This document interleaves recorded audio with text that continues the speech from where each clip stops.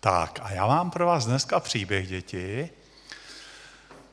A chtěl bych vám povědět právě, co jsem prožil, když mě bylo nějakých, no, nějakých, nějakých, chodil jsem do, do šesté třídy. Kdo z vás chodí už tady do šesté třídy? Ještě nikdo, že jo? Takže to je spíš příběh pro takové možná chlup starší děti, ale vy jste určitě vnímavé a budete tomu rozumět. Představte si, že měli jsme ve, ve, v naší škole takovou strašně hodnou paní učitelku a máte taky hodnou paní učitelku ve škole? Jo, že? Dneska oni jsou všechny hodné. Dneska už děti nebíjí, tak kdysi byli, když jsme my byli ještě malí. Tak si představte, že ona byla moc hodná. Ale my jsme věděli, že ona bude muset odejít. A víte proč? Protože to bylo na ní poznat. Ona čekala miminko a my jsme věděli, že ona bude muset jít někde do nemocnice a tam přivést to miminko na svět a že se bude muset o něho starat.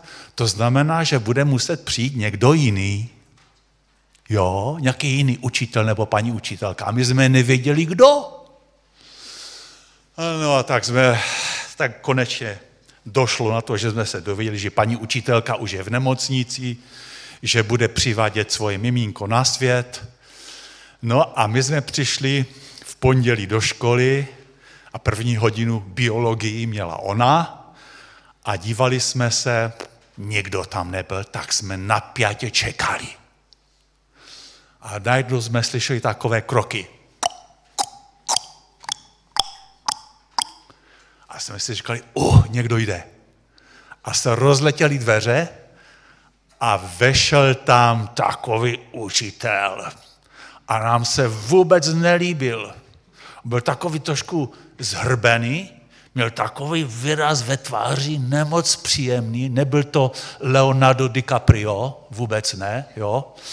A představte si, že hned jsme si všimli, že že takový celý zrzavý. Víte, jaký to je zrzavý? To je takový, takové červeno, červeno-hnědé zrzavé vlasy. Jo? A to bylo takové zvláštní na něm.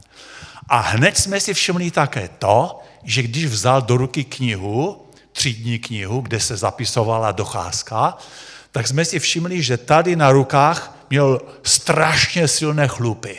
Byl ochlupen jak nějaký opičák. Jo? A my jsme si říkali, no to bude šílené, to bude hrozný učitel, jo.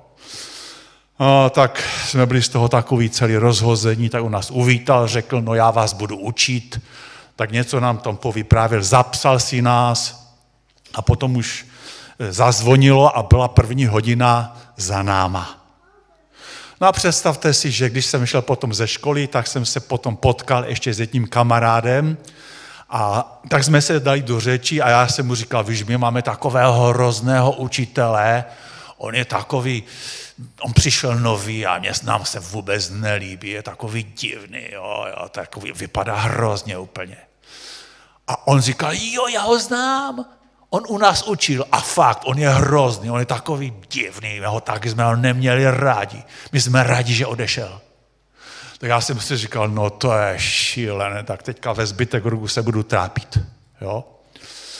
No a mysleli jsme si to úplně všichni. Všichni do jednoho. Nezískal si vůbec naši pozornost. Vůbec jsme, ho, jsme, jsme si ho neoblíbili z kraje. Vůbec. No, a tak jsme všude o tom vyprávěli, jak máme špatného učitele, šířili jsme to kolem sebe, Uložili jsme si ho někde do šuplíku, že to je špatný učitel, že to je ten, kterého jsme neměli dostat. No a představte si děti, že po nějaké době, když plynul ten rok, tak jsme museli, tak jsme začali být trošku nejistí. Víte proč? Protože jsme zjistili, že ten učitel, že on není takový špatný, jak se nám zdál že je dokonce velice spravedlivý, když třeba známková známky, jo, tak velice spravedlivě známkoval. Nikomu nenadržoval ve škole, jo. Neměl svoje miláčky, kterým dával samé jedničky a těm druhým dával pětky. Vůbec ne, jo. No a tak jsme pomalinku zjišťovali, že jsme se že jsme to tak úplně nezvládli, že je to fakt fajn učitel.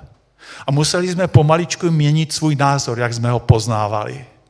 Poznávali jsme, že je to dobrý kluk, že to je dobrý člověk, že se choval někdy, nás měl takový tělocvík, že sice vypadal hrozivě, když se se vlekl do, do Bermud a do Tílka, že byl celý chlupatý jak nějaký opičák, jo? ale byl to strašně hodný učitel.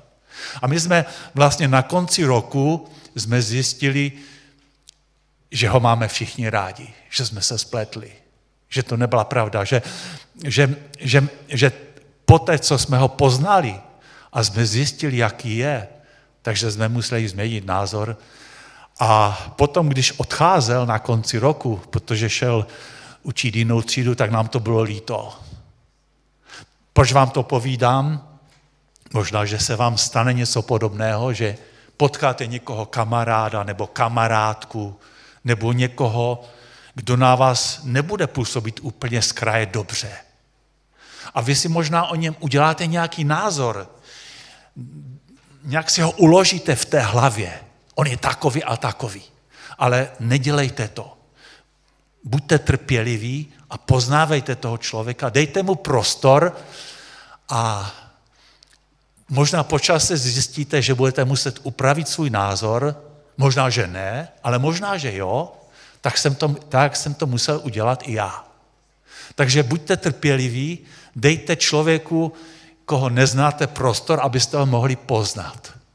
A poté, co ho poznáte, tak zjistíte, že to možná bude jiné než na počátku.